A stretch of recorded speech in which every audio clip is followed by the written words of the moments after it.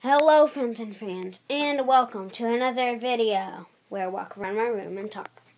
Okay, so anyway, as some of you know, I am broke.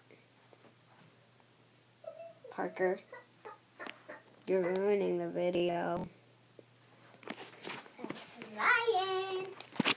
Don't think so anymore. Aww. Okay, so anyway, like I was saying, some of you know I'm broke, but it's for a good reason, and I'm happy that I'm broke. I'm not happy that I'm broke, but I'm happy that that money is where it is right now.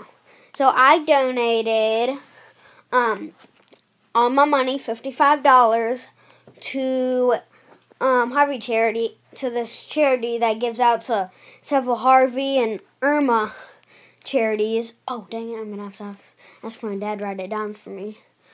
Um, so anyway, I will put that down in the description below. So look at that, please. Um, uh, so you can go check out their website. So anyway, I did that, and then, um, almost everybody in my family, family, I forget what it's called, but they copied it, so they all donated fifty-five dollars. So I got four hundred and sixty dollars for Hurricane Harvey and Irma, and I think that some of you guys, you guys, should do it. So I'm, I'm not exactly challenging you guys to do it.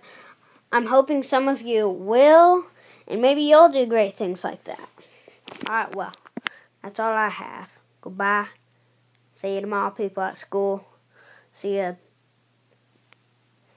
on my birthday, people in Pittsburgh, and see you in the next video, people who watch.